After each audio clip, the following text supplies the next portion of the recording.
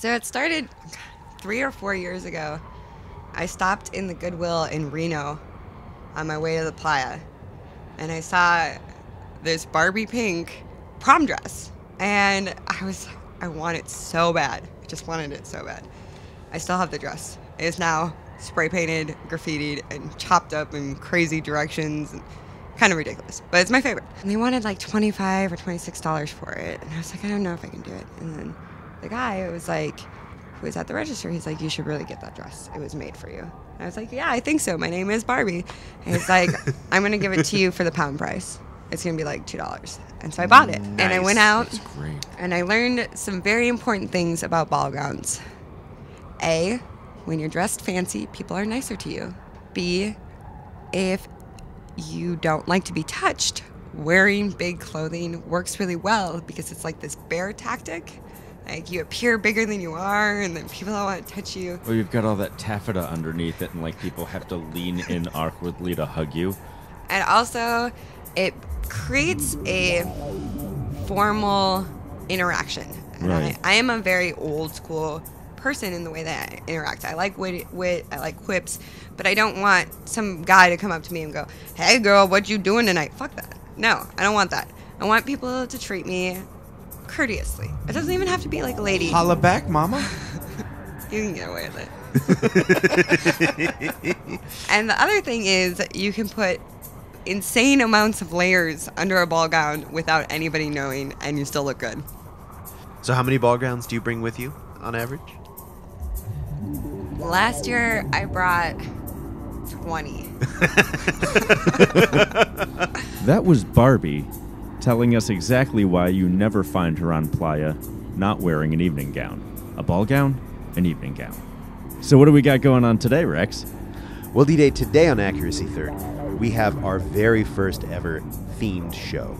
We're going to be hearing three stories from three different voices, all about first times at Burning Man. You're going to hear from Nathan, who you all heard from last episode. And if you haven't heard last episode, go listen to that right now. Then come back, listen to this.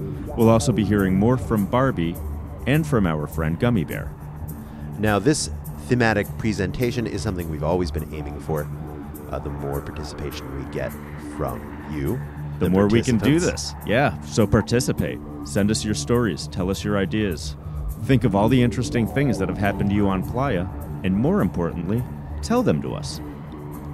You can share your stories on accuracythird.com. You can share them by recording them. You can share them by letting us interview you. You can just type something up and we'll read it. It doesn't matter. Get your voice on our podcast. And now, enjoy these three voices. Hi! So, the first year I went to Burning Man, either 2010 or 2011, can't remember, I caught mono on the way down. You noticed mono on the way down. You dis- Somebody tossed you some mono a week before, a couple days before. It's actually not confirmed it was mono. It's just showed all the symptoms of being mono. To this day, we don't actually know what it was, except that it was not strep throat. And I had 101 degree fever for eight days and 104 degree fever for two. Yeah, for anyone that doesn't know, that fever for too long just kills you. I traveled out from New York City, and that was the most insane thing in the world. Basically, we got access to a next to free motorhome if we drove it out there. Um, Something you had to acquire in Reno. no, it was literally like in Connecticut somewhere. Oh, so you drove cross country yes. in a motorhome. Yes. Like seven miles a gallon. Yeah. And our driver, are we allowed to swear on here? You're Oh, allowed to shit, say yeah, whatever this you is the want. This internet. the Oh, inter- okay. goddamn I don't know. nuts. Our Um, driver was the biggest asshole that ever was. I first became aware of it, perhaps surprisingly, uh, because of a girl that I was dating at the time uh, who had just started going, you know, year before, the two years before that, I think. And one of the documentaries about Burning Man was coming out. I don't actually remember what it was called. Uh, but I totally had that moment after watching it of feeling intensely homesick for a place I'd never been, which there's actually a Welsh word for, Hiraeth, which is the longing or homesickness for a place that you can never return to and perhaps might never exist Oh, that's nice. So anyway, I had this this intense feeling, and was we had a small camp of friends that went, and we one of them bought a 1967 California Department of Corrections bus, stripped out the inside, carpeted it, put up like some couches, bed in the back, little kitchenette, uh, strapped a bunch of shit to the top, got like two and a half miles a gallon, and broke down five times on the way coming over from San Francisco, and it was amazing. When you got in the car on the way down to Burning Man, you were already feeling a little under the weather? Honestly, I can't actually tell you because we hadn't slept more than four hours in weeks. I mean, who knows? I could have been sick for a week and not known because it was crush mode. And um, we had also hit a deer on the way. Uh, Yeah, just above Cedarville. That was exciting in the pitch black night. I barely remember it. I know that we didn't stop, we just kept going. But we did get to see the country. Oh my god, we got to go to like ghost towns and like um also sleeping over we would just break laws. Like we'd just park and sleep and didn't care. Like- sure, there's there's a lot of empty space in the middle of this country where you can just kind of park and there's no one to care. They And- shuffle you along. You just go. Off And- to the next county full of cornfields. The only thing that I have to say is like we started using our creative bathroom tactics before we even got to the playa. I again, found out that the of pee funnel stretches. did not work for me personally. so did you try one of the Playa Tech P funnels when you got to Playa? No, Have I you- have I, you seen them? No, that sounds terrifying. They're uh, they're just a plastic Dixie cup with a little piece of uh, Tubing. the Clear tubing, tubing. yeah, uh, cocked into the bottom of it. You said cock. It's going to be this sort of recording session. I wouldn't have it any other way. Fair enough. So across the country, you came in an RV, Yes, and having we little mini adventures the whole way. basically i'm in the car with this gorgeous girl and she and i have become friends and asshole driver is just he's been eyeing her forever she does not want him to touch her with a 10 foot pole so at night it gets really hot in the motorhome because we don't have air conditioning Good. She took off a part of her clothing, uh-huh. and he was like, "I'm gonna jump into bed with her right now." So she starts like screaming. By the way, we're in Yellowstone National Park. Oh Jesus! Okay.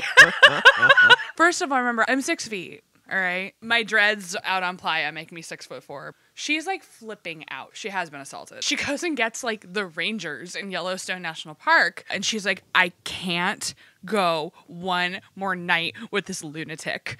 And I'm like, great. Me neither. So I'm carrying like a 50 pound battery, okay, in the RV Uh-huh. because I have sleep apnea and I uh, travel with Camp Mobility because we provide medical outlets for medical fridges, for uh, sleep apnea machines, for oxygen tanks. Basically, anyone with any type of anything that needs to be plugged in for a medical purpose is what we're all about and what we provide when we come to Playa. I was toting a 50 pound battery with its own suitcase. I was plugging my machine into that every night. So I have a Playa CPAP and I have a real life CPAP. That's smart. Yep. Never take anything out that you expect to come back. Yeah, absolutely. And also, like, I soak the bejesus out of that thing when it gets home. Like, I can't lift my bag down the stairs of the RV, you guys. So the Rangers are like, we'll get it. Do you guys watch Criminal Minds? No. No. Uh, there's a guy in there who's like notorious for kicking down doors. These Rangers Shemar Moored their way into our RV, grabbed my suitcase with like one arm, like grab her stuff, and they drive us out of Yellowstone to Cody, Wyoming, which is like two hours away, where we're put up in the Buffalo Bill Hotel. Oh, I've been to Cody very briefly. 'Cause Yes. that's as much time as you can spend in Cody. My dad is on the phone with us. He was like, "Get her to safety. You're you're bigger than she. I'm bigger than everybody." We bonded, that's for sure. Like we had history instantly. You know, no, we didn't need a helicopter, but we had the next best thing. Yeah, it's not good to stay around somebody who's not reading uh, those no signals in the way that Yeah. people with who are healthy would. Yeah, so you don't want to be with people who don't have a, a real firm grasp of consent. Um, the guy who's in charge of our camp got us two seats in a vehicle going to Playa, and that's all we needed. We jumped into a car with all of our stuff. Then we ran into the storm. So we get to Playa and we went and I got ushered into a truck and then I went to um, Playa del Fuego, which is my old camp. And at that point, I was pretty sick. Oh, I, I got tricycled to the Death Guild one day because I have a bunch of friends there and they have a surprisingly or not surprisingly large amount of doctors and nurses in that camp. Mm-hmm. And so they were kind of doing some first aid.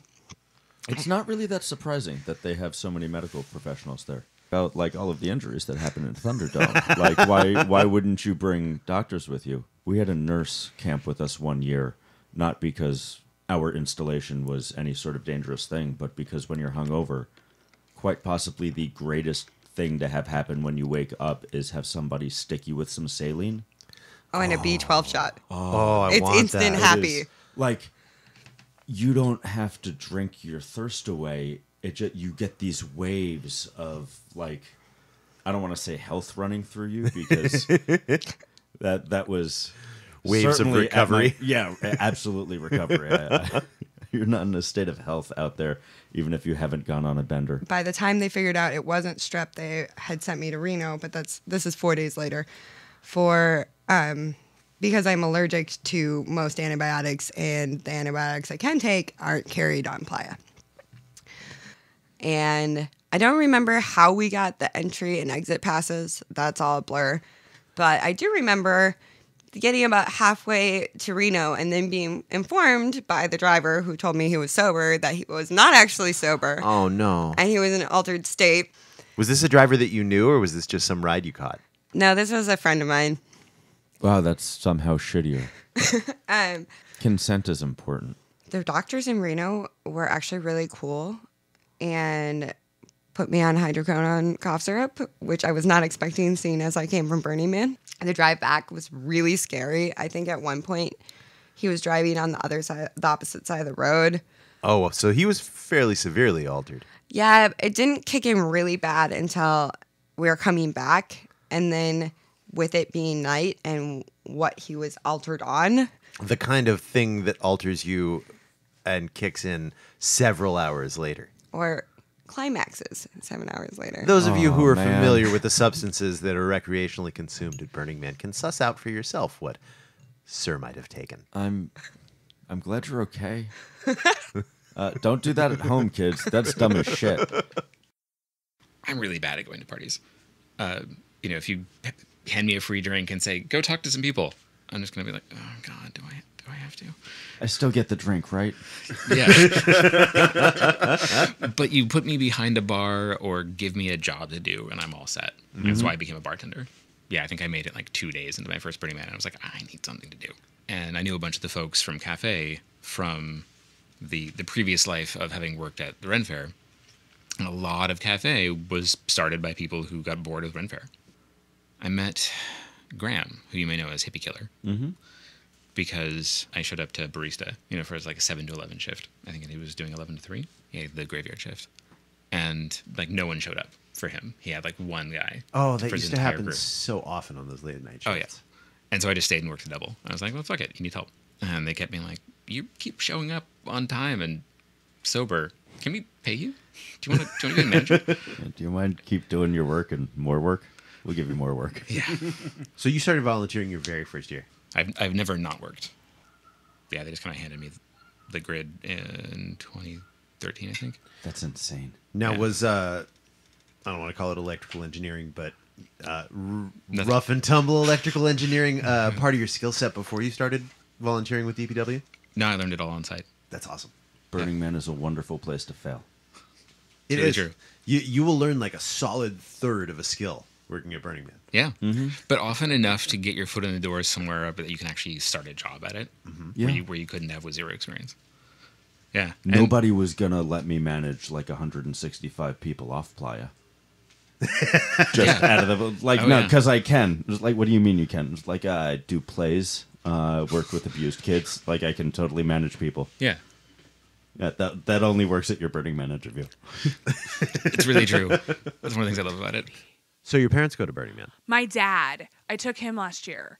How was that for you? He and Freddie Mercury have the same birthday in the same year, so they're exactly the same age if Freddie were still with us. I always felt like my dad would have a really great time at Burning Man, and the man burns on Freddie slash dad's birthday, um, September 5th. So I was like, it's like the biggest party ever. It's the greatest idea for anyone's birthday because, like, look how many people go. and anyway, so we got, uh, you know, he he worked really hard last year with his friend, and they got they got themselves there last year, and uh, their virgin burn was celebrated at 69 years old. That's awesome. How how much did you facilitate their going? Did you just put the bug in his ear and he did it on his own. Okay, so what I would do is like I would make YouTube videos, like, look, guys, it's really easy, and I'd like pack one bag, Uh-huh. and I'd be like, look, we're almost done. You can do this too. And by the time I get home, and by the time I get home, we'll be packed and ready to go for burn to Burning Man. So just call and get in a U-Haul, and I'll be on the next flight out to California. So I was just doing it to be like, hey, dad, hey, dad, hey, dad, and like it was, it, it worked. And what what was his experience like? Would a story that I think he'd really uh, like be okay with me telling. So we are camped right next to the Levin oven. Okay. Okay, somebody had a really good idea. mm-hmm. Flatbread, topless hot chicks. We literally shared a wall, a fictional wall, with the Levin oven. And our neighbor was a girl, and she was a moaner. Like, like she was. And let me tell you, you cross a line when you're in your tent, when your best friends is in the tent next to you, and your dad's in the third tent, and you're all hearing ah ah ah simultaneously forever.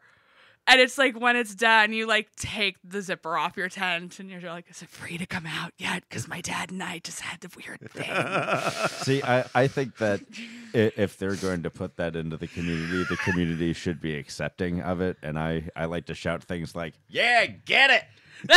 totally. That's when you you pull up your camp chair, you crack a beer, you face their tent, and you just enjoy the show. So, guess what like my dad started radio. doing? They were tailgating the boning. One, we were provided with all you can eat, playa version of all you can eat. So that's like one bite a day mm-hmm. of flatbread because we shared the wall. So we got flatbread all the time. So I didn't mind hearing sex noises if it meant I'd get pesto, onion, cheesy, hell, Oh. heavy, like he- heavy, melty, gooey, gummy. That's gummy. fantastic. Yeah, that sounds great. Yeah, you can have all the sex you want and be loud. Man, can- the only food camp I ever camped next to was the Gut Hut.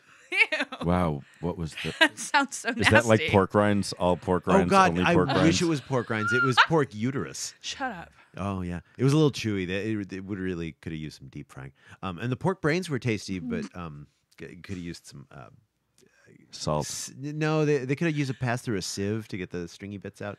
Oh, that's bleak. Yeah, Gross. yeah. No, they they would go to the Chinese grocer and pick the creepiest things that they could buy, and bring them out to Playa. Oh my god. Serve them. My second. they were the the first camp to be shut down by the Nevada Health Department.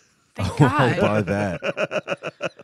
I'm Well- gonna start bringing sulfa drugs in my first aid kit. That's smart. That's what I'm Yeah. allergic to. That's what they have. They have sulfa. They have sulfa drugs. yeah. Holy shit! They have because I'm allergic to penicillin sulfa and Sequor. The thing with being allergic to antibiotics, in most people's cases, it's from overuse. So for me, I had strep throat for a very long period of time when I was little. Right. And because I was in an age where they couldn't they didn't want to take my tonsils out. They just kept switching the antibiotics. But my body was like, "No, you motherfuckers, just cut the tonsils out." And kept developing these things from overuse of antibiotics. Right. Yeah. No, I'm just I'm allergic to a lot of pharmaceutical things. Barbie, were you Um, one of those kids that insisted on putting your mouth right on the drinking fountain?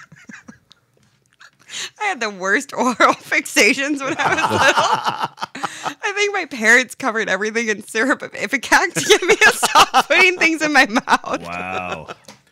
Why do you go? we should be asking that to people more. I'm working on it. I'm working on it. I think the question is why do you still go? Yeah. Sure. What keeps you going? Uh, I mean, the first two years I went out were kind of rough. The relationship with the woman I was going out with was rocky. It- um, it's a hard place for a mm-hmm. relationship. Oh yeah, Yeah, it'll put you through paces. I was really not super thrilled about the event just because it all kind of lu- blurred together. It was all just a lump of feeling gross. And it was the temple. It was the temple in the way that I saw people interacting with it. The memory that sort of encapsulates the whole thing for me is when the Temple of Stars burned. I remember I was, you know, probably right about six o'clock and showed up early. And we all just sort of sat down, sat around, and I didn't really know why we were there. I, I thought the temple was beautiful, but I didn't really know what to expect. Th- was this your your first? Yeah, that was my Year? fir- that was my first year. So that was David Best's Temple of Stars. It was almost like a quarter mile long. It was Ah, yeah. That that, Um, yeah, that was a beautiful temple. Yeah, it was amazing. That was the year that uh, someone had these two mylar kites on a wire, and were basically flying the kites, and they were, you know, aloft on the thermals from the um, the burning temple and reflecting the light back down on the crowd. It was gorgeous, but the wind shifted. It had been really still. And the embers were just going straight up, and then suddenly the wind shifted right about the time the first big rush of embers started coming down and people were just getting shit falling on them, you know, literally raining fire from the sky. And you could feel this animal tension building to panic and just emanating through the mob. A crowd on the verge of turning into a mob. And I feel like most of the places that's just what would have happened. People would have gotten stampeded. People were just like, fuck it, every man for yourself. And uh, I watched people, you know, brushing embers out of strangers' hair and batting things out of the way and deliberately calming each other down. And I felt everything change. And suddenly we were all just there and we were like, okay, this is what we're doing now. And then it was fine. Um, and I, I didn't think I'd ever see that anywhere else. My first year, the man was still on hay bales, and they didn't really do a perimeter like they do now because there was like 14 rangers. What year is this? 99. Nice. So the crowd was pressed in much tighter Mm, mm-hmm. than it, it is these days. And there was this project around the man called the Impotence Overcompensation Project, which was just four giant kerosene jets that shot towers of flame 30 feet in the air. Mm-hmm. Pretty cool. They were in the crowd. The perimeter was not back behind them. And they didn't have fence around it because it was back when Burning Man was real. Yeah. Um, and they were going off as we waited for the man to burn in the crowd. Bits of not quite burned kerosene were dripping down on us. And every time they went off, there was this big radiant wave of heat. And we were standing, pressed chest to back, and we'd all lean together just away from the heat.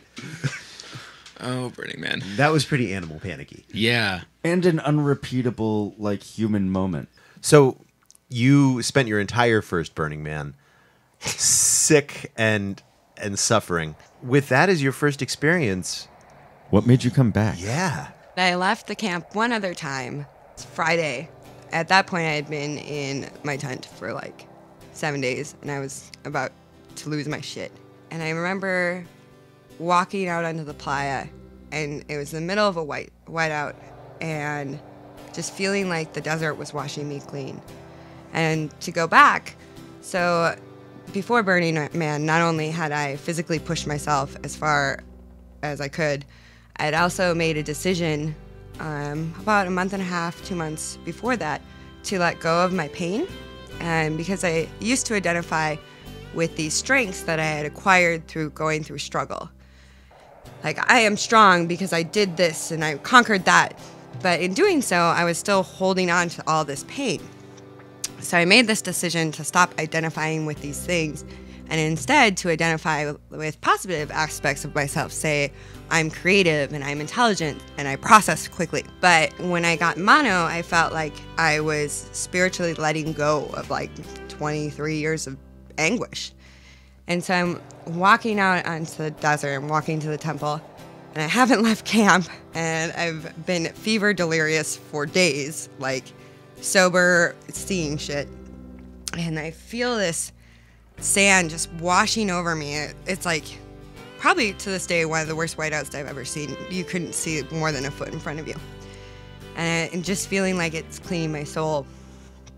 And then I made it to uh, Crystal Method for maybe like 45 minutes. And I, I just sat. I just sat and soaked up the music. So rather than identifying with it, making your pain the the core of who you were, you were finally processing through it. Yep, exactly. And is that is that what brought you back to Burning Man? Was it that Relieving experience? yourself of that burden. I mean, I'm a glutton for punishment. um, and so it's like with Burning Man, like, yeah, I came and it totally kicked my ass. It won. It totally won. I didn't like die, but I got close. But I, I'm not gonna. I'm not gonna stop at that point. I'm gonna go back. I'm gonna, and then I'm gonna volunteer because that's what you do. You get up, you pick your shit up, and you fucking kill it. When you stumble, don't be afraid to break down. You know sometimes you gotta break down by the side of the road. Break down and love life from the gutter. Break down watching the stars. Break down. You know sometimes you gotta break down and sing out loud. Break down and love life from the gutter. Break down before the lights go out. Before the lights go out.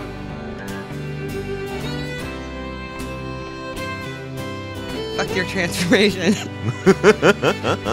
and to be clear, I never said that Burning Man was transformative. I said that I was transforming during Burning Man. Now, can we get you to say that Burning Man was transformative? No, I just got into a car accident that was life changing. Illnesses and injuries, no matter where they take place, if they are impactual, they're going to be impactual. And the setting is just part of the facilitation of the process. So, really, what we're getting at here is the fact that it is impossible to go to Burning Man without sustaining some degree of injury that makes Burning Man inherently transformative. At the very least, your cuticles are going to split. right? Like you're Oh, gonna- yeah. You're going to twist your ankle. Your hands Um, show it for weeks. You really want me to say You really you're really fishing for me to say Burning Man was transformative. hey, did you just hear that Barbie said that Burning Man was transformative for? Can you edit that out, Beth? Years they sit heavy, the minutes ride fast. You could cut through this night like a knife. Gray hours of November are hard to remember when weather is the measure of life. Two stars in the night. The music on this podcast has been by Vagabondage. You can find information on them and all of the other artists that have contributed music to our podcast on the podcast music section of our website, accuracythird.com. Next episode, we'll be sharing a singular conversation with you again. But if you liked the thematic work that we did on this episode, we're going to need a lot more stories from you so we can shuffle them out, you know, get them sorted by theme, edit them down into a decent episode, and send them your way. So please, go to the submission section of our site and send us your story. Accuracy Third is edited by Drunk Beth. Our theme music is by Jim and Damien. We're distributed under the Creative Commons license. Accuracy Third is produced by Accuracy Third, which is D Day, Rex, and Beth. Thanks for listening. The greatest love that you found was back home when hearts are confused by desire. There's two stars in the night, and we're down for bottles of wine. There's two stars